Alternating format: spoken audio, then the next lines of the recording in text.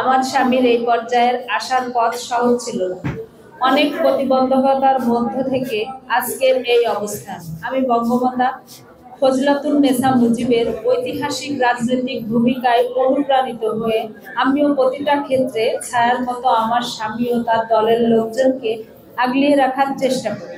বাকি জীবনে স্বামীর রাজনৈতিক ও সামাজিক কাজে নিজেকে নিয়ে রাখব আমার স্বামী জননেত্রী শেখ হাসিনার স্নেহ ধন্য এটা আমার জন্য গর্বের আমার স্বামী বিএম কবিরুল হক মুক্তি বাংলাদেশ আওয়ামী লীগের মনোনয়ন পাওয়ার পরও কৌশলগত কারণে আমি স্বতন্ত্র প্রার্থী হিসাবে মনোনয়ন দাখিল করি।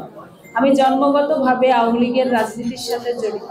আমার আস্থা ও ভালোবাসার প্রতীক নৌকা, আমার ব্যক্তিগত ভোটও নৌকায়। তাই বিগত দিনের মতো আমার স্বামীর নৌকা প্রতীকের ভোট প্রার্থনায় ব্যস্ত থাকার কারণে জননেত্রী শেখ হাসিনার সিদ্ধান্তের প্রতি শ্রদ্ধা জানিয়ে আমি জাতীয় দাদর জাতীয় সংসদ নির্বাচন থেকে সরে গেল জয় হোক নৌকার জয় হোক জননেত্রী শেখ হাসিনা। জয় বাংলা জয় বঙ্গবন্ধু। আমাদের একত্রিশতম বিবাহ বার্ষিকী উপলক্ষে ভাইয়ের জন্য কি উপহার কিনা? আমার তো সব কিছুই আমার স্বামী।